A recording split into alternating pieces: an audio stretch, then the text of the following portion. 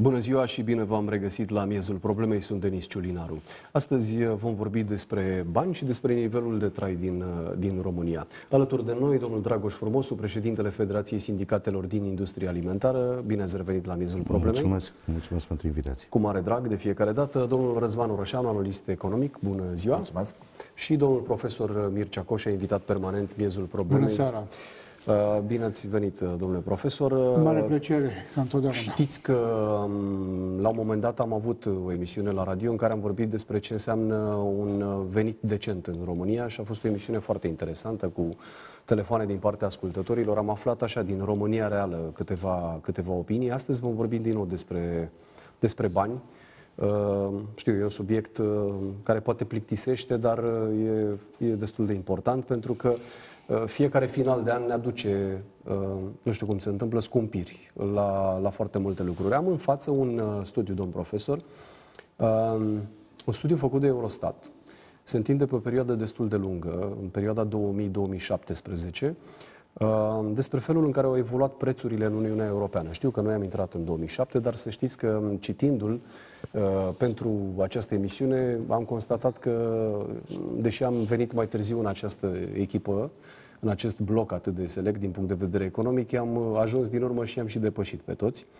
România are cele mai mari scumpiri din Uniunea Europeană. Vorbim așa la modul global, 257%, practic de șapte ori mai, mai mult decât media blocului. Sunt uh, niște date ale Institutului European de Statistică Eurostat publicate, cred că în urmă cu o lună, dacă nu mă înșel.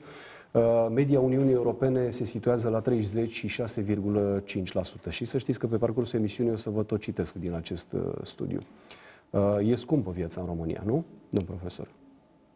Da, e scumpă viața în România. Nimeni nu se poate, nu poate să fie mulțumită cu prețurile. Prețul este, este un cuvânt, ca să nu zic altceva, e un cuvânt care este în limbajul zilnic de poate sute sau mii de ori la oricine, pentru că viața noastră e o viață de, de cumpărător, de consumator până la urmă și ne ciocnim de prețuri. Prețurile sui generis, nu vorbesc și de tarife, și tarifele, care sunt pentru servicii. Așa încât uh, tema e foarte interesantă. Acum, e foarte greu să explic această creștere foarte mare, dar există și un, uh, o explicație istorică. Noi am trecut prin niște etape, am trecut prin niște schimbări foarte mari, se pot întâmpla fel de fel de, de evenimente care duc la o dinamică care la un moment dat ne-ar putea mira. La începutul acestei perioade de, de tranziție, prin anii 1991-1992, Uh, chiar mai târziu și prin 94, noi am avut o inflație foarte mare, foarte mare. După aceea s-a temperat și am uitat că există inflație. O perioadă îndelungată, aproape vreo 10 ani de zile, nu s-a discutat în România despre aceste instrumente importante ale economiei de piață, care sunt uh, prețurile și dobânzile și cursul. De curs am mai discutat pentru că economia fiind, fiind uh, în lei, dar umblând și cu dolar și cu euro, lumea s-a obișnuit să se uite la curs. Dar la inflație nu. Acum uh, câteva luni de zile, când a apărut așa, într-o manieră aproape, aproape de, de Halloween, sperindu-ne pe toți roborul, nu știam ce e, lumea și-a dat seama că există și o dobândă. Acum, pentru că avem o inflație care a depășit cotele la care ne așteptam, știm că există și o inflație. Astea sunt elemente normale într-o economie de piață. Adică atâta timp cât noi suntem în economie de piață, ne dorim să fim într-o economie de piață, numind o europeană globalizată, cum doriți, dar de piață, acolo unde regulile pieței funcționează, acolo unde nu există o administrare a prețurilor, adică o decizie pe prețuri, atunci sigur că vom avea inflație. Problema este că uh, important nu este prezența ei, important e nivelul ei. Corect. Deci când discutăm despre prețuri, ne gândim cât de repede cresc sau cât de mult cresc. Iar în perioada asta pe care o trăim acum, o perioadă caracterizată după mulți ani de, hai să zicem, de o anumită stagnare, se caracterizează printr-o creștere importantă a veniturilor salariare și uh, pe pensii, observăm că de fapt, prețurile cresc și ele în măsura în care câteodată dacă facem un calcul nu matematic, ci doar vizual, mergem și ne uităm prin magazin așa, vedem că aceste creșteri de venituri pe care le avem sunt în mare parte anihilate de creșterea Sunt topite, prețurilor. practic, Puterea în- de cumpărare scade sau rămâne la același nivel. Statistic, se pare, am văzut anumite calcule, că în momentul de față uh, inflația nu a anihilat creșterea salarială, mai este un procent până la două diferența între ele în, în, uh, în favoarea uh, sumei de bani care intră pe piață. Dar asta înseamnă că o problemă există. Iar această problemă este greu de explicat uh, populației atâta timp cât avem o creștere economică record european, nu așa apare, atâta timp cât uh, există anumite elemente care, așa cum spuneam, duc la creșterea veniturilor, e foarte greu să explici de ce există uh, o asemenea tendință. Elemente de explicație sunt multe. Facem o listă întreagă și începem cu anumite elemente ale costurilor care au apărut în ultimul timp. Problema care trebuie să cred eu să discutăm și avem cu cine, slavă Domnului, invitații noștri uh, ne pot da un răspuns cât se poate de competent, este la ce ne așteptăm. Exact. La ce ne așteptăm? Pentru că România e o țară în care predictibilitatea e aproape nulă. Noi nu știm ce se întâmplă mâine sau poimine, nu știm ce se întâmplă politic, nu știm ce se întâmplă cu, să zicem, într-o manieră generală, cu schimbarea vremii. Ba plouă, ba ninge, ba e soare, ba sunt cu tremure, ba nu sunt cu tremure, ba vin rușii peste Marea Neagră, ba nu vin. Este în permanență o presiune la care se mai adaugă pe sufletul românului și ce se întâmplă cu prețurile. Și asta poate să discutăm, să vedem în ce măsură ele pot fi uh, stăprite cumva. Mai am un singur cuvânt Sigur. ca să-i fac o legătură, uh, zic eu, foarte artistică domnului Orășanu, pentru că înainte de emisiune am discutat amândoi, mai ales că avem o declarație a guvernatorului Băncii Na- Naționale care ne spune că să ne așteptăm la inflație, La inflație, că da. ea există și va fi. Da. E o introducere bună în temă, dar aș puncta foarte uh, pe scurt trei aspecte esențiale. Unu, faptul că prețul este un decont între cerere și ofertă. Dacă ai o cerere foarte mare sau un consum uh, foarte mare și nu mai ai o industrie care să producă uh, oferta de pe piață, lucrul ăsta este decontat în prețuri. De ce? Uh, uh, mai ales că avem uh, nu un monopol, dar aproape un oligopol pe piața marilor magazine, deci aproape jumătate din piață este împ- împărțită în, între sub 10 jucători, care pe anumite tronsoane au o putere de a majora prețurile care este destul de importantă. Deci uh, tot de contul ăsta se duce în, în buzunarul omului. Și atunci ce vede el creșterea de, de preț, de acolo se reflectă. Mai sunt două lucruri reflectate în preț. Așteptarea generală că prețurile vor crește. Uh, Adică ne-am obișnuit cu gândul ăsta Amintea că- domnul Coșa mai devreme uh, de guvernatorul uh, Băncii Naționale. Eu nu am întâlnit un guvernator pe planetă, dar poate cineva să mă contrazică, care uh, uh, anunță că banul pe care își are semnătura uh, va fi mai slab. Că asta înseamnă când, când anunți tu, guvernator, inflație, înseamnă că moneda sau uh, bancnotele pe care ți-ai pus semnătura, tu singur le anunți că vor fi mai puțin uh, uh, Valoroase. valoroase da. în viitor. Deci, în momentul când anunți lucrul ăsta și ești ministru de finanțe, ești guvernator al Băncii Naționale, ești premier, ești președinte sau ce mai vreți dumneavoastră, uh, oamenii acționează în consecință. De exemplu, uh, dacă mă aștept ca în viitor lucrurile să fie mai scumpe, atunci cumpăr azi mai mult, fac un stoc tampon și mâine o să cumpăr mult mai puțin.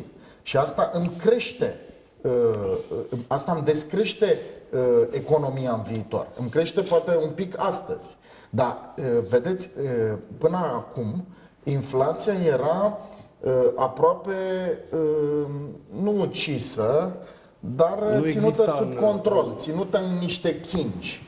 Și a spune că uh, autoritățile nu pot stăpâni inflația în condițiile în care noi avem un mecanism care se numește țintirea inflației în România, lucrul ăsta mă dărâm aproape ca economist pentru că cel puțin manualele de bază îți spun că da, poți să țintești inflația, dar îți asumi niște costuri.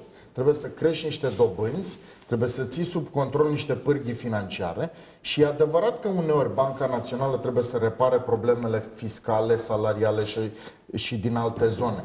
Dar nu m-aș aștepta ca ei să anunțe uh, prețuri mai mari uh, în viitor. Asta până acum nu s-a întâmplat. E o noutate uh, e o noutate absolută. Ultimul lucru pe care l-aș atinge foarte pe scurt, al treilea, uh, este că în timp uh, bunurile foarte scumpe, că sunt apartamente, că sunt mașini, oamenii, deși uh, au veniturile în lei, le gândesc în euro. Când îți cumperi o mașină, te gândești o mașină de X mii de euro.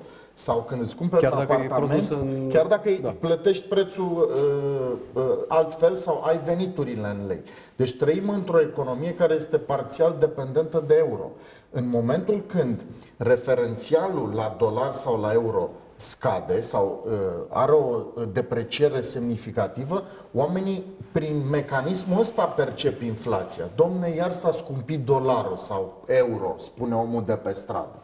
Ce înseamnă lucrul ăsta? Înseamnă că uh, bunurile respective uh, denominate în euro, că e factură de telefon, că e altceva, cresc în echivalent lei. Și lucrul ăsta știu cel mai bine cei care au rata eventual uh, fixată într-un în, credit da, uh, de, și... denominat în, în euro. Și lucrul ăsta se duce în lanț și se amplifică. Deci ce vă spunea domnul Coșa mai devreme, trebuie să vă gândiți la uh, efectele respective ca într-un mecanism ciclic. De, de Dacă inflația la... devine mai mare astăzi, asta hrănește în viitor o inflație și mai mare. Deci acest mecanism trebuie de asta trebuie ținut sub control foarte clar și Banca Națională are un, un rol important aici. și ceilalți demnitari, inclusiv Ministrul de Finanțe, să facă un buget responsabil și așa mai departe. Dar de aici aș porni cu Uh, cu discuțiile astea, pentru că totul se facturează la oameni. Dar și ce e interesant, uh, privind la acest studiu Eurostat, că aproape obsesiv mă, mă întorc la el,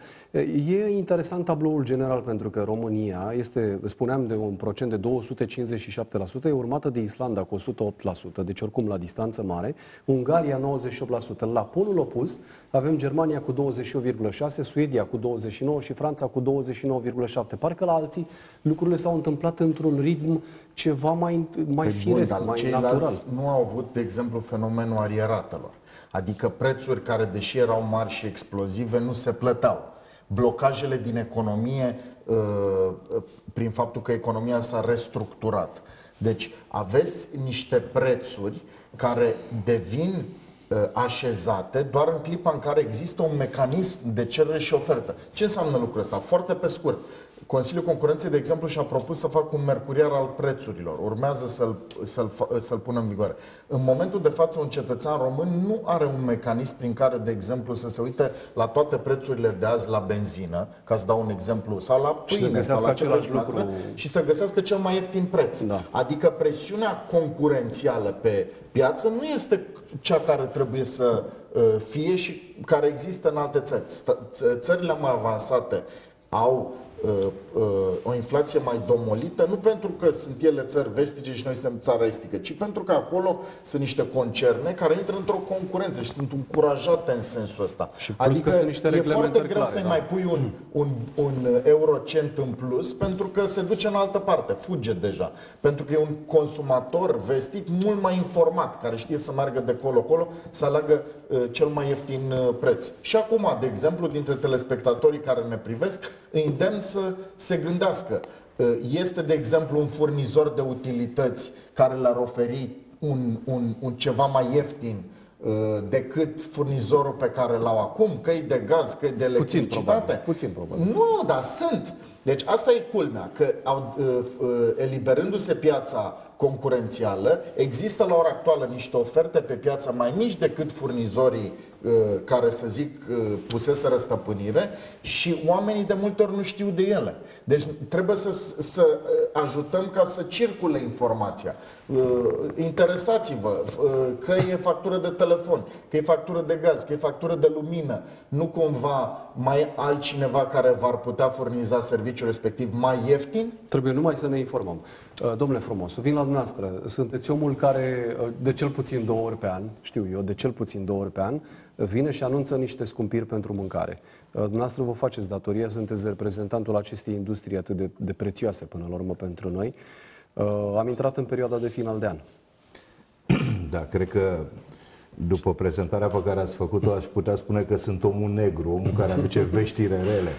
Dar încerc să atrag atenția de fiecare dată, pentru că până la urmă Uh, lucrurile astea au repercursiune asupra angajaților pe care de fapt îi reprezint din industria alimentară, uh, fiindcă orice creștere de preț poate conduce la disponibilizări, poate conduce la reducere de personal, deci la creșterea șomajului, ceea ce nu este normal. Sau, sau oamenii rămân cu aceleași salarii lunare ca acum un an de zile, pentru că întotdeauna am întâlnit justificarea dacă vom crește salariul, atunci vom fi nevoiți să creștem prețurile. Ceea ce mie în momentul de față mi se pare anormal. Pentru că discutam și spuneau colegii mei de platou că, într-adevăr, procentul uh, cu, uh, din, din salariu uh, cheltuit de român pentru mâncare este destul de mare. El se ridică undeva exact. la 40% din exact. venituri. Dacă mai adăugăm și lumina, căldura, transportul, etc., ajungem la 50-60%. Nu mai discutăm despre haine, nu, nici nu le luăm, alte... în, le luăm da. în calcul. Ca să nu mai vorbim dacă mai ai un copil care trebuie la un moment dat să facă o pregătire pentru școală sau să-și facă un pic un viitor și are și alte nevoi, exact. da, deja lumea se blochează. Asta pentru că nivelul salariului este foarte scăzut.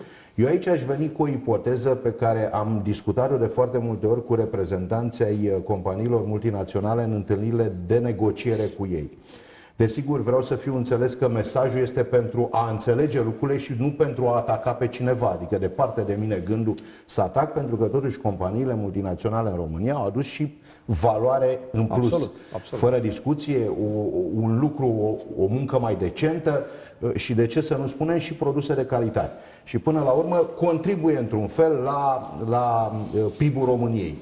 Uh, sigur că și aici este o discuție pentru că observăm că de-a lungul timpului, în general, discutam despre retaileri, uh, spun că profitul lor este foarte mic, dar vedem răsărind magazine în fiecare deci lună, investiții. unul lângă altul, investiții foarte mari.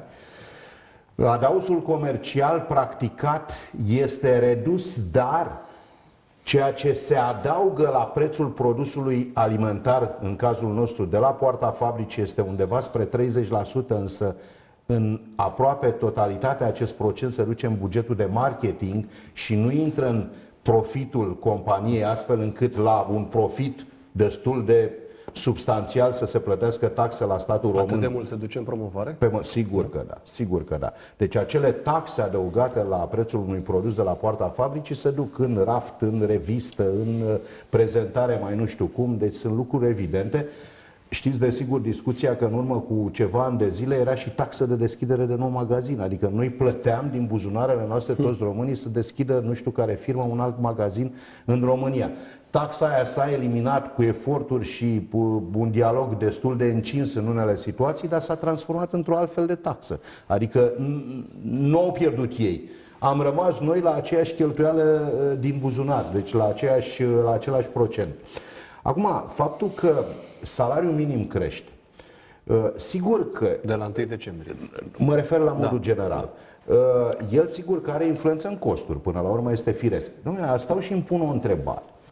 Cheltuielile cu salariu în orice țară membra a Uniunii Europene, aproape în majoritatea statelor, reprezintă undeva la un 12%. În România se plâng întotdeauna că acest nivel este peste 15%. În condițiile în care la o producție care se vinde pe raft cu același preț în România ca și în Germania, Belgia, Franța, etc., care în cheltuieli cuprinde aceleași elemente la același preț. Gaz, materie primă, energie electrică, combustibil și așa mai departe. În condițiile în care în România avem un salariu de 4-500 de euro, și în celelalte state avem peste 1000 peste de euro, 1000-1500. nu mi explic de ce în România trebuie să crească prețul la raft. Revin la dumneavoastră, după o pauză de publicitate, discuția este foarte interesantă, ne întoarcem în miezul problemei. Miezul problemei Național TV am revenit alături de dumneavoastră. Discutăm despre traiul în România, despre prețuri, despre mecanisme din economie. Dacă ați deschis televizorul mai târziu, domnul Dragoș Fromosu, președintele Federației Sindicatelor din Industria Alimentară alături de noi, domnul Răzvan Orășanu, analist economic și domnul profesor Mircea Coșa, invitat permanent în miezul problemei. Domnule Fromosu, v-am întrerupt înainte de pauză. Deci avem așa, următorul tablou, în, cel puțin în industria alimentară. Aceleași costuri pentru un produs, Corect. nu? Însemnând producător, desfacere și așa exact. mai departe în România, aceleași costuri în Germania. În Germania avem un salariu care poate sări lejer de 1000 și ceva de euro. În România 400 uh, de, de euro. Prețul produsului însă la final uh, e cam același sau chiar, chiar mai mare la noi uh, e, prin comparație cu altele. Aici există o discuție și o anumită interpretare. Vedeți, discutăm de nivelul salariului. Dom'le, dintr-un salariu minim de 1900 de lei și vă rog să rețineți foarte mult, cel puțin în industria alimentară, foarte multe unități se duc undeva pe la 2000 de lei.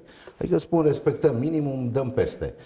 La un 2000 de lei brut, iei 1200 de lei net. Ce face un om în ziua de astăzi Mai cu 1200 de lei? Mai nimic. Adică, în orice colț al deci țării. De aici intervine și munca la negru, de aici intervin o groază de alte probleme care afectează și statul român, pentru că discutăm de taxe și impozite. Acum, de ce spun că intervine o, o anumită discuție? De foarte multe ori prețul la raft este mai mare pentru că este politica retailerilor. Domnul Orășanu spunea un pic mai devreme de faptul că un procent mare din comerțul cu produse alimentare și nealimentare se vând în aceste Uh, magazine ale retailerilor, care sunt undeva la 6, 8, 10 companii, da? E, politica lor, în general, este o constatare personală. Este ca să importe produse de același tip din țările de unde provin, uh, cele ale noastre suportă acele taxe de care discutam, astfel încât ele la raft să ajungă puțin mai mari decât produsele din import.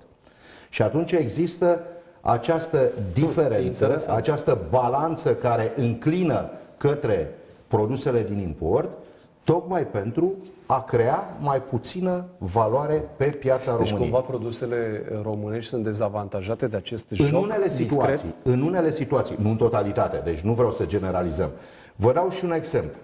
Uh, vând produsele mele, să spunem, preparate din carne, în procent de 70% către 2-3 retailer cu care închei contracte. La un moment dat vine retailerul și spune cât mai ai unul dintre ei, 30%. Ok, mie îmi faci de 30% parizer. Îți iau producția până la 100%, Dacă reprez... faci dar mi da. la prețul ăsta.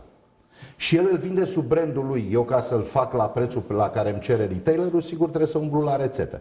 Și atunci intervine deci la calitate, și de nu? diferența de calitate, exact, diferența de preț și el te duce către marfa pe care și-o vinde el.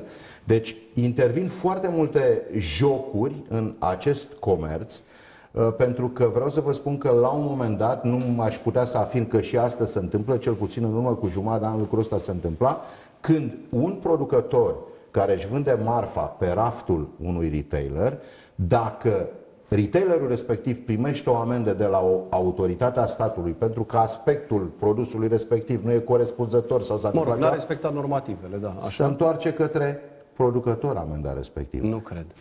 Deci vă spun cu certitudine lucrurile astea. Păi producătorul deci, nu are control, nu la raft. Dacă, Ce se întâmplă cu produsul? Dacă refuză produsul respectiv și spune nu, așa mi-a ajuns de la tine și e deteriorat la raft, există riscul ca acel producător în două, trei luni de zile să fie delistat și atunci a intrat în faliment foarte scurt. Este o, o, un exemplu. Uh, v-aș da un exemplu vis-a-vis de salariul minim și de chiar de nivelul salariilor. Sunt companii multinaționale care nu mai doresc să negocieze un contract colectiv de muncă și profită de o legislație socială proastă care se încearcă a fi schimbată de ceva timp și nu se reușește lucrul ăsta pentru că există un joc al intereselor. Un joc al intereselor al investitorilor străini, un joc al intereselor al patronatelor și un joc al intereselor al sindicatelor care sigur încearcă să obțină cât mai mult pentru cei pe care îi reprezint. Dar, repet, nivelul salariilor și posibilitățile de a negocia peste un anumit prag este atât de redus încât eu ajung în situația să spun mai reprezint salariații, nu mai pot să-i reprezint. Pentru că nu ajută nici legea, nu mă ajută nimic. Revenind la prețuri. Am avut un an cu probleme destul de mari. În sensul că a crescut prețul combustibilului mai mult decât prognoza guvernului. Așa e. Uh, a urmat o creștere a barilului, da? Care a dus la un preț mai mare. Acum, dacă a scăzut, nu știu dacă a observat cineva no, o scădere a prețului la pompă. această da? corelație. A crescut prețul la energie electrică, a crescut prețul la gaz. Înainte deci guvernul spusese că va face o analiză a creșterii prețului la gaz după 31 martie, el a crescut undeva pe la jumătatea lui februarie.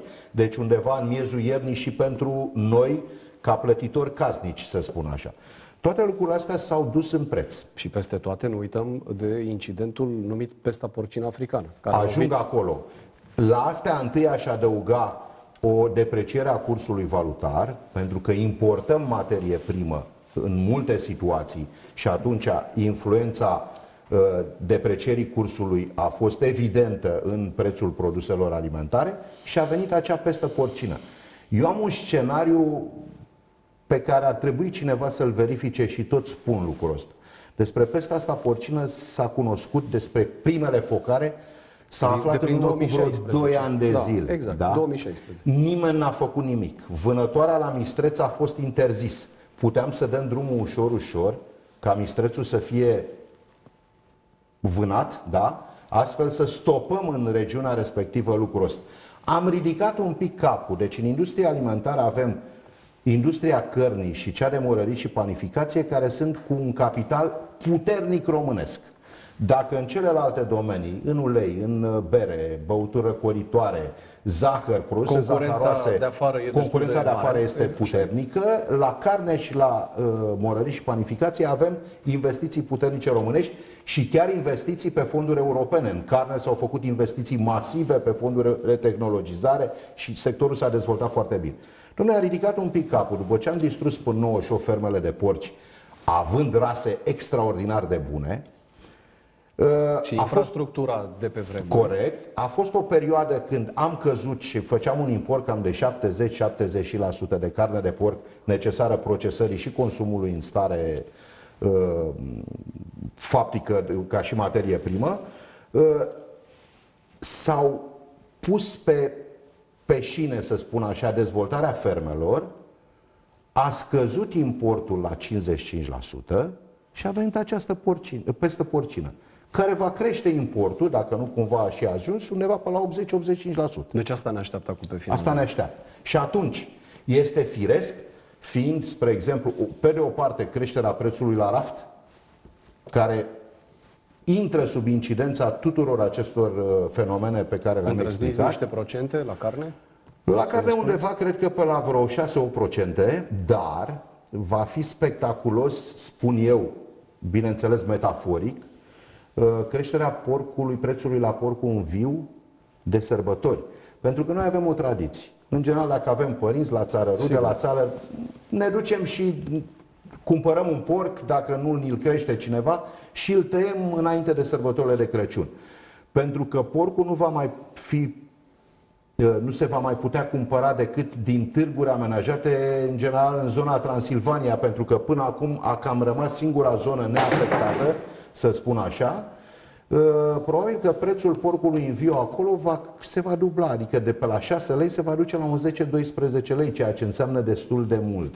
Și atunci omul uh, va merge către scăderea consumului. Deci el nu își va mai cumpăra un porc să-și facă preparate și să-și îl pună în congelator. Sau se va duce la, ce... la market și va cumpăra carne... Pe de o parte, sau merg cu domnul Orășanu ce luăm amândoi un porc. Jumate unul, jumate altul.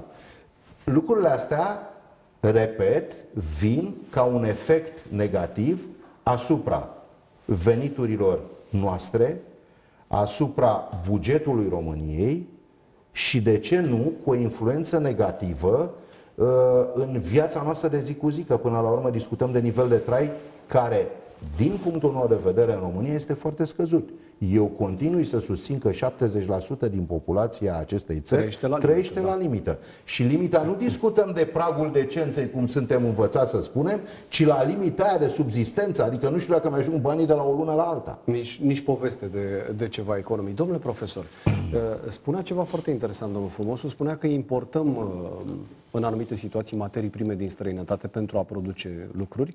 Dumneavoastră ne-ați povestit de multe ori aici în emisiune cum că facem și în sens invers lucrurile. Adică exportăm tot felul de lucruri pentru că apoi Corect. să importăm produse... Uh... Primar prelucrate. Da. Primar prelucrate. Acum, uh, din ce spunea uh, domnul Frumosu, uh, aș vrea să completez cu ceva. Apare ca fiind un paradox. Veniturile sunt mici în România, prețurile sunt mari în România. Și totuși, cum merge consumul în România? Sunt câteva elemente care trebuie ca să le spunem în România, spre deosebire de alte țări. România e țara care are cel mai mare număr de proprietari pe imobile. Corect. Deci în bugetul de familie chiria nu există Peste 90%, cred. Mm-hmm. Nu există întotdeauna. În alte țări contează foarte mult chiria. Da. În al doilea rând, ca urmare a întârzierilor pe care le avem în, să zicem, în modernizarea zonei rurale, sunt, pe anumite calcule, vreo 3 milioane de familii, de cămine, de case, care, care nu sunt racordate cu... da. la, la utilități. Deci nu plătesc nici asta. Iar în al treilea rând avem, uh, se pare că la egalitate cu Bulgaria, cea mai dezvoltată economie de uh, producție de subzistență. Deci omul își mai face și pe acasă roșii, varză, câte ceva. Deci nu intră pe piață cu ele. Și așa se poate trăi. Altfel noi am cădea într-un nivel de, de, de pauperizare extraordinar de grav. Iar marile magazine, referitor la asta, trebuie ca să spunem ceva. Am o întrebare care tot îmi stă în cap de ani de zile. Chiar există undeva un plan ca noi să, să, să ne stopăm dezvoltarea câteodată? Pentru că, și asta regional, pentru că uh, a fost uh, cu păsările, când începuse să avem o producție Gripa mare, aviară, da. Mhm. dar, s-a, dar s-a cantonat în zona vechilor principate. În uh, Transilvania n-a prea fost. Acum la fel și cu porcii când începuse să meargă, deci e ceva sau nu e? Până la urmă ce facem? Facem o scenarită sau nu? Acum, sigur că Întrebarea mea este cum va, cum va, evolua, cum va evolua inflația asta. Va merge mai departe, cum spunea domnul guvernator, și să ne așteptăm la niște creșteri, care, sigur, spunea domnia sa, vor fi în, în, în limita prognozată de bancă de 3,5% la sfârșitul anului, dar tot este destul de mare, sau să va putea face ceva. Aici eu cred că uh, în uh, explicația foarte sintetică și foarte ușor de înțeles pe care domnul Orășanu o dădea în legătură cu funcționarea pieții. Cererea și oferta, cum merg lucrurile cu toate lucrurile astea. Trebuie ca să spunem ceva care este până la urmă, dacă nu o critică, cel puțin o atenționare. Uh, nivelul salarizării în România trebuia, a trebuit să crească neapărat. Era Așa foarte, e. foarte jos, Sigur. să vede, trebuia să crească. Dar măsura asta de creștere a consumului, intempestiv aproape, uh, trebuia să fie dublată încă de la început cu o politică de stimulare a producției interne. Pentru că la o cerere mare, oferta românească nu face față. Nu, și atunci, sigur că dai apă la moară la tot acest import care până la urmă duce la inflație. Și revin la ceea ce spun de foarte mult timp. Este aproape, aproape rușinos și ar trebui să ne preocupăm de asta poate mai mult decât de alte aspecte care țin de justiție, de alte lucruri. Bine, nu se poate ca România, care a ajuns să fie un mare producător de cereale, să exporte cereale și să, și să importe lucruri puțin prelucrate. Este acest exemplu care a ajuns să fie anecdotic, dar anecdotic cu lacrimi în ochi. Să importi cocă congelată pentru pâinea și produsele de panificație care le cumpărăm din supermarketuri, în mare parte cu grâu exportate din România. Nu se poate, trebuie Și care sunt prezentate drept produse proaspete. Produse proaspete. Da. Nu se poate ca programul acela de care lumea a râs, programul cu tomatele, care în sudul țării dă rezultate foarte, foarte bune, foarte bune. Au început să fie iar uh, suprafețe foarte mari cultivate Dar cu, cu subvenție generoasă, domn profesor, din partea statului. Exact, păi da, spun, era da. un program. Și uitați-vă că până acum o săptămână au fost roșii românești pe piață. Da. Adică s-a prelungit perioada. Prelungit. Toate roșiile astea nu sunt prelucrate în România. Sunt uh, în zona Clărașului, sunt uh, exporturi permanente de roșii spre Polonia și dacă mergeți în supermarket, găsiți bulion din Polonia. Adică nici bulion nu putem să facem. Toate lucrurile astea arată că politica economică trebuie să fie îmbinată în așa fel încât orice efect să fie contracarat printr-un efect contrar. Măre salariile, în mod sigur, crește consumul, în mod sigur, dacă nu ai producție, ajungi la inflație. Asta e o chestiune care trebuie ca să o aibă în vedere guvernanții, pentru că e momentul să se mai uh, discute și despre ce facem cu economia asta. Acum nu discutăm decât despre faptul că șase luni de zile vom, vom avea un rol în, în Europa.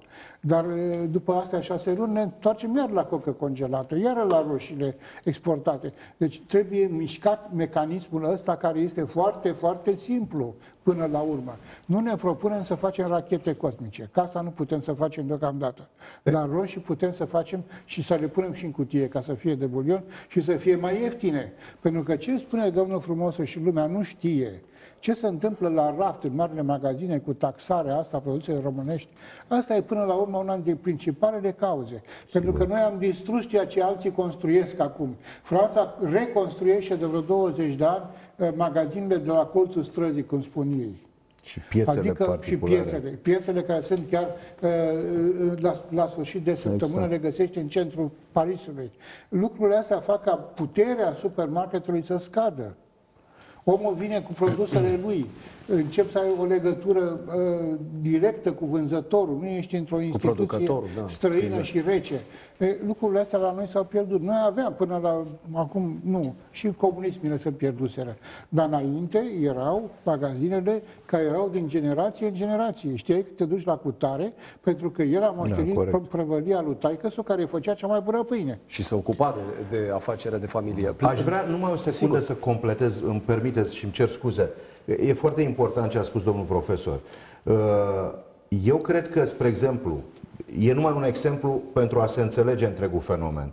Uh, fermierii noștri au pierdut încrederea de a se asocia, pentru că au fost păcăliți de-a lungul timpului. Acum, vedeți noastră, Guvernul, Ministerul Agriculturii a venit cu acest program al tomatelor. Eu, după ce văd că a dat rezultate, nu poate cele scontate, dar oricum, oricum peste ce aveam da. până la un anumit moment, aș veni și a spune, vă dau în continuare dacă vă asociați. Da? Și vă mai ajut. Trecem la următorul. Vă mai dau da. niște, o formă de sprijin dacă vă asociați. De ce spun lucrul ăsta? Pentru că în momentul în care se asociază, toată producția va fi vândută de asociație către retailer. Mai mult de atât, asociația poate să-și construiască un depozit care să prelungească perioada de păstrare a produselor respective. Plus că la negociere vor avea altă, alt, alt preț statut și la statut. sămânță Sigur. și la vânzare. Sigur. Niciun fermier nu va rămâne cu marfa pe câmp, ceea ce se întâmplă acum și pierde enorm, și tot asociația poate să-și facă și un mic centru de procesare din ceea ce nu poate să vândă la piață calitativ discutând, ce spunea domn profesor, asociația face pasta de tomate curată, sănătoasă, la un preț mult mai mic decât cea existentă din materie primă românească plecată sub formă de pastă și importată și atunci începe să se miște rotița. Am terminat da. cu completarea. Domnule Orășanu, lucruri foarte interesante și din partea domnului Dragoș Frumosu și domnul profesor a spus uh, câteva chestiuni care m-au făcut să vă întreb. Mm, e, e clar că uh, mediul economic în care ne mișcăm ăsta european e unul concurențial, adică trebuie să, odată ce ai intrat în clubul ăsta select, cum îi spuneam eu la, la început, trebuie să Ehm, sigur, pe puterile tale să faci tot ce poți, nu? Să îți promovezi uh, ceea ce produci. Există o, o conspirație din asta, adică ehm, cineva nu ne lasă, cineva, iată, prin tot felul de mecanisme fine, prin tot felul de ațe trase. Eu nu uh, cred în uh, conspirații, dar uh, există un mecanism economic foarte important. Un supermarket care are, să zic, uh, o cifră de afaceri undeva de peste un miliard de euro în România, uh, vrea să își uh, obțină un contract enorm de mare Așa. nu doar pentru niște lădițe de roșii, că s-a dat exemplu de roșii, ci ceva enorm. Ori noi de vreo 10-15 ani ne chinuim cu acel program care prin 2008-2009 s-a anunțat și s-a ales praful de el, cu depozitele de legume și fructe. Mm-hmm. Deci dacă ar exista o formulă de a stoca și a depozita, plus de a controla calitatea, Producția locală, da. pentru că acel mare retailer vrea cantitate enormă, calitate constantă, plus că vrea un ritm de livrare. Dacă tu i-ai promis că îi livrezi roșii în noiembrie, tu te descurci cu solar, parasolar, faci ce știi, dar în trebuie să livrezi. 5 noiembrie da. trebuie să-i apari cu camionul. Și aici nu e vorba de câteva lădițe. Plus că, dacă stați să vă gândiți că uh, comparam Germania cu România, păi în Germania ca să duci uh, camionul cu roșii, te duci frumos pe autoban, uh, în România transportatorii spun că e cu 25% mai scump cheltuiala doar de transport din cauza drum, drumurilor proaste. Sigur. Deci v-am dat doar niște elemente pe Correct. lanț care se adună în buzunar omului care cumpără roșia respectivă de la, de la supermarket. După aceea, mai este o chestiune importantă, capitalizarea. În Germania ai firme puternic capitalizate, ori această inflație nenorocită din anii 90 nu au mâncat doar veniturile celor mai săraci români, au mâncat și veniturile acestor companii românești sau combinate de păsări, de porci, ce vreți dumneavoastră, pentru că în vremea aia de inflație galopantă, ei s-au decapitalizat puternic. Adică nu au mai avut puterea să mai și investească, de exemplu, în niște magazine. Eu aș vrea să fie... Magazine la, proprii de desfacere. Și magazine proprii și poate magazine combinate. De ce nu ar exista, de pildă, uh, un număr de 100 de producători români care să se reunească Corect. și să reușim să avem un, un, un, un lanț de magazine. Dar, pe de altă parte, toți reprezentanții ai statului român în bordul unor bănci internaționale plătesc și aprobă proiecte că ăștia care se extind, retailerii străini, cu ce se extind? Cu bani de la uh, anumite bănci internaționale. Și cine stă în băncile ale internaționale? Inclusiv reprezentanții României trimiși de guvern. Și îi iei și scuturi pe câte unii de ăștia și întreb, măi nene, tu de ce ai aprobat 200 de milioane de euro, cum s-a aprobat, de exemplu, pentru un mare retailer, nu o să-l numesc, dar care a ajuns să crească ca ciupercile, ca, adică nu mai uh, ai un magazin deja la 400 de metri de celălalt magazin. Păi asta cu ce să face? Cu bani de la Berd, de exemplu, ca să-i și uh, numesc banca, nu să numesc uh, uh, producător. Deci toate lucrurile astea merg într-un lanț. Și atunci, de exemplu, când ai un sprijin, uh, trebuie să te gândești ce sprijin. Pentru că și ăsta e un, un lucru. Când noi dăm ajutor de stat, de pildă, am dat ajutoare de stat cu sutele de milioane pentru firme, de exemplu, de încălzire centralizată care sunt falimentare. Dacă aceleași sute de milioane uh, am fi făcut niște centrale de apartament de jumate din sumele alea și celelalte subvenții le-am fi livrat ca anumite domenii unde suntem capabili să producem. De exemplu, domeniul vinurilor. Suntem între primele 10 puteri Uh, mondiale, dar nu investim în internaționalizarea acestor companii. Marea parte a veniturilor se fac tot din România. Suntem în top, uh, nu știu, uh, cred că suntem în topul european la porumb. Da, și asta am avut una din cele mai bune producții anul ăsta. Ok, dar trebuie să mergem mai departe. Cine investește în firmele alea de, care iau producția asta și o valorifică superior în toate la, zonele? La prețul bun. La prețul și bun, la că... un preț bun. Dar asta cere capital, investiții, gândire integrată.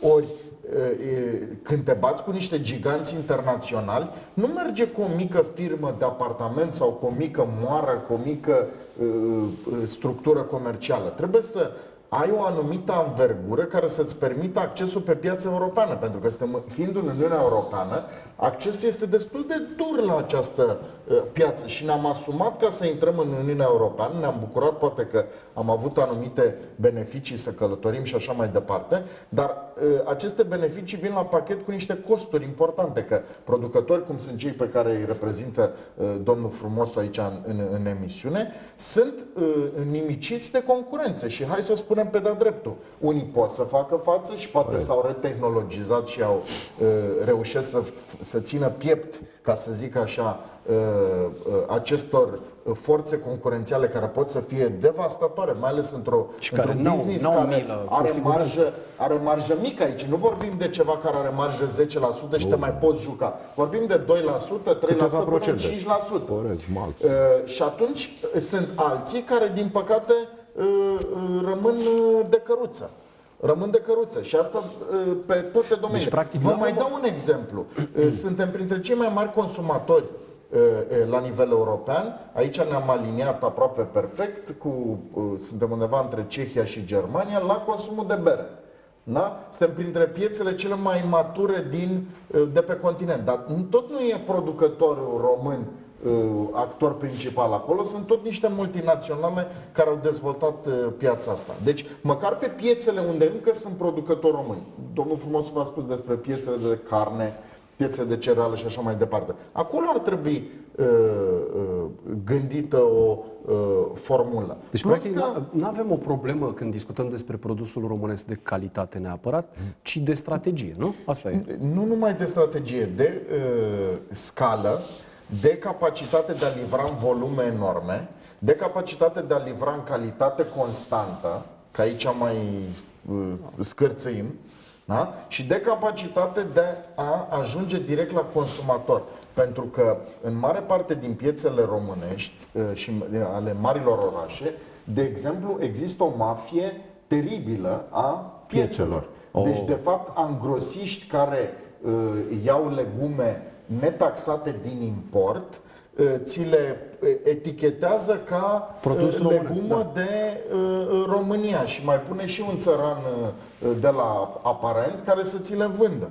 Deci, mafia asta, vedeți, corupția de la nivel mic, piețe, oboare, lucruri de felul ăsta unde ajung lipitorii de afișe de la partide acolo, mici șefuleți pe domeniul respectiv, nimicește niște producători autentici care poate au un un, o cantitate mică de produse, dar cu lucru curat, nu știu cum să spun, cu, cu o producție proprie și cu munca lor și nu au acces la Chiar dacă au uh, calitate, piețele spuneți. respective. Sigur, au calitate și au și o cantitate care e bine să nu fie în autoconsum, ci să intre în economie. Corect. Ce spunea domnul Coșa mai devreme. Faptul că avem o parte a populației care nu participă la acest uh, uh, să zic, fenomen economic, ci în continuare fac o economie de autoconsum, deci o gospodărie locală de acest fel. Și intrarea lor pe piață ar fi importantă. De ce? Pentru că ar scădea prețurile. Categoric. Dacă ar veni toți aia care sunt ne... în zona de autoconsum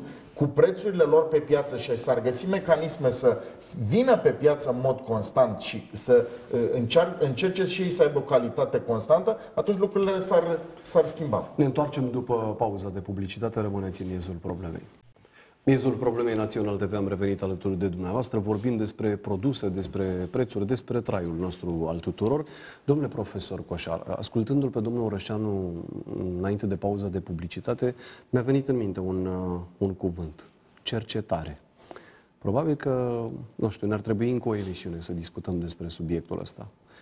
Cumva ar fi printre cauzele pentru care, nu știu, uh, în această zonă atât de concurențială nu nu facem față, dincolo de strategiile economice ale adversarilor, punem în ghilimele, dincolo de toate conceptele de, de manual, avem o problemă cu asta, nu? Da, din câte știu, din domeniul ăsta de care discutăm, să zicem prioritar, nu? Alimentele, producția de alimente, consumul până la urmă de mâncare, pentru că asta reprezintă mult în bugetul familiei. 40% spunea domnul Frumos, cam așa ceva. Chiar depășește puțin. Uh, am avut o, o cercetare foarte fructuoasă în domeniul ăsta, începând de la semințe până la produse. S-a cam distrus. Din câte aud și din câte citesc, fără să mă preocupe neapărat, văd că se revigorează. Au reapărut centre de cercetare, apar produse și semințe, mai ales la legume, fructe de calitate, apar chiar niște lucruri care, care se reîntorc la normal, pentru că în dorința de a fi concurențional, producătorii români au importat semințe de, de legume din Occident, mai ales din, din Olanda, care sunt uh, produse industriale aproape. Nu se strică, nu se, nu se nu se compară cu nimic natural. E, e, sigur că aici ar trebui ca să intervină cineva. Iar problema care mă preocupă și care sigur că sună prost în zilele astea, dar până la urmă ce sună prost, până la urmă are o anumită melodie, nu? Toate, toate, toate melodiile care sună prost, până la urmă au în ele o notă muzicală și sper să fie prins această notă în ce vreau să vă spun. Cred că ar trebui să intervină statul. Sigur că statul azi e privit ca ceva nociv. Nu, afară, afară, nu.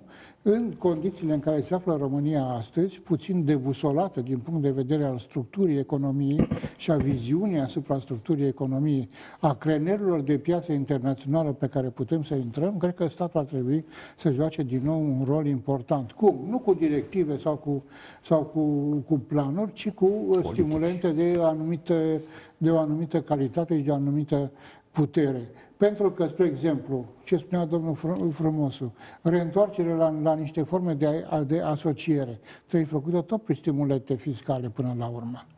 Trebuie ca să stimulăm anumite ramuri care au o anumită vocație de export.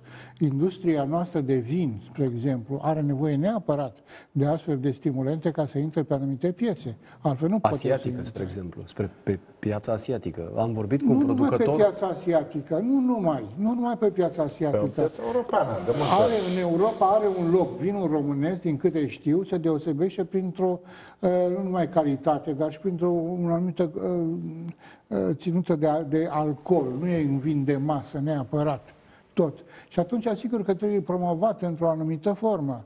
Sunt soiuri de vin pe care Europa nu le are, dar care sunt foarte bune. Nu, nu există un baraj, nu există o barieră de care să nu putem să trecem. Dar pentru asta trebuie, din punctul meu de vedere, două lucruri pe care noi nu le avem deloc. În primul rând, înțelegerea de către statul român a faptului că e nevoie de el și la altceva în afară de politică, la economie. Trebuie să intervină, nu într-o formă centralizată, dar trebuie să intervină.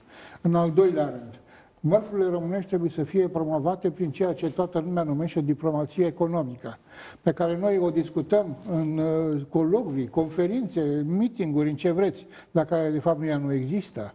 Pentru că Ministerul de eh, Externe n-a reușit să-și facă un corp de elită a diplomaților cu veleități de promovator de marfă Lobiști, nu? Așa să, să, să facă lobby pentru produse Nu neapărat lobby. Așa cum ambasadorii străini în București vin la ministere și promovează mărfurile și interesele, așa trebuie să facem și noi. Și firmele și firmele. Există niște exemple pe care le știu a unor investitori români care au vrut să investească în alte țări. S-au adresat ambasadelor și au fost respinși. Nu că nu au fost ajutați, au fost respinși. Au spus, Urât. nu e treaba noastră, noi ne ocupăm de marea politică. E, lucrurile astea trebuie să fie cumva înțelese, pentru că suntem într-un punct în care putem să pierdem foarte mult. Lumea se schimbă într-o manieră foarte rapidă. Noi suntem, folosind o expresie uh, românească, nu foarte literară, dar o spun, noi cădem între scaune. Da. Nu ne-am găsit încă locul. Trebuie neapărat să facem ceva. Ce se întâmplă la Uniunea Europeană trebuie să fie un semnal pentru noi. Categoric. Domnule Frumosu, suntem uh, aproape de, de finalul emisiunii, ar mai fi câteva minute, uh, le voi împărți între dumneavoastră și domnul Orășanu. Știu că recent ați spus ceva, uh, poporul român mănâncă multă pâine și vreau să ne vorbiți un minuțel. Ați anunțat niște, da, niște deci, creșteri. sigur, prețul kilogramului de pâine în România în momentul de față nu este preț real, este undeva sub, probabil puțin peste jumătatea unui preț real. Prețul a fost ținut la nivelul ăsta, în primul rând, din cauza evaziunii fiscale. Statul român a luat la un moment dat mici măsuri, a introdus fenomenul de taxare inversă, a ponderat puțin inflația, dar nu a intrat cu tancul pentru a reduce evaziunea fiscală, lucru care, care, din punctul meu de vedere, ar fi adus mult mai mulți bani la buget. Eu mă refer tot timpul că Până la urmă, politicile statului se fac cu bani și dacă nu avem bani Sigur. la buget de peste tot, atunci e clar că nu poți să le faci. Dar rostați un procent de vreo 20-25% prețul grâului a crescut și este firesc să se întâmple lucrul ăsta. Acum eu vreau să vă spun totuși un lucru. Pâinea astăzi este un leu. Dacă va fi un leu 20, un leu 30, n-ar însemna, indiferent de consumul nostru de pâine, că și aici este o, un exemplu pentru care prețul nu a crescut să vină la un preț real. Faceți comparația unei pâini de 300 de grame, prețul unei pâini de 300 de grame în România și în Franța, Germania și o să vedeți că acolo e cu câțiva euro mai mult decât în România. Uh, dar desigur va fi această influență. Un singur lucru vreau să spun, trecând de la pâine la ceea ce a spus domn profesor, extraordinar de bine. Politicile statului. Deci eu vreau să amintesc, sigur, nu cu mare bucurie, dar cu bucurie vis-a-vis -vis de, de economia României. În 90 aveam ceapeuri, da? avem ILF-uri, deci depozite foarte mari de produse care conduceau la exporturi mari, la aprovizionări masive, etc. Același lucru trebuie să-l facem acum, numai că, din nefericire, ne-am obișnuit ca cineva să ne dicteze ce facem. Nu mai poate să dicteze cineva, dar o politică care să vină cu o formă de sprijin, fie fiscală, fie sub altă formă, să ne îndrume pe calea asta și să ne asociem, ar fi lucru foarte bun. Domnule Orășanu, 30 de secunde. Vedeți întâmplându-se în viitor ce, ce spune domnul Frumosu? Dacă foarte se va întâmpla, atunci uh, cei 30% dintre români care sunt angrenați în domeniul ăsta al agriculturii uh, vor mai rămâne doar 5% și atunci vor fi niște efecte extraordinare. Nimeni n-a vorbit de ce o să facem cu acești oameni, ce putem să facem cu acești oameni, să-i reorientăm spre niște zone mai productive.